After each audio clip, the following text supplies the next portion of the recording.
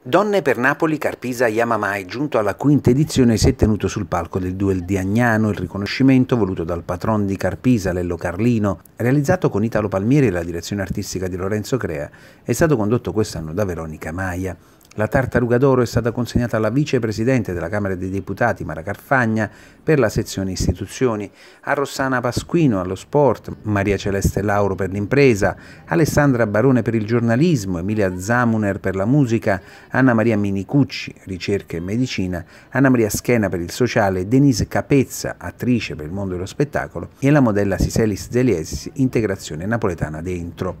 Il premio per la sezione mode è andata alle donne vestite dallo stilista Gino Signore, Onore, un premio speciale, è stato assegnato a Ornella Spoleto, dipendente di Carpisa. Tanti gli ospiti doc, tra questi l'attore Gino Rivieccio, il soprano Giulia Burduli e le squadre del Napoli femminile Carpisa Yamamai di calcio, attualmente prima nel campionato di Serie B, e Carpisa Yamamai Acqua Chiara di pallanuoto maschile e femminile. Musica dal vivo a cura della band Eclissi di Soul e DJ set di Dario Guida, accompagnato da violino e sax.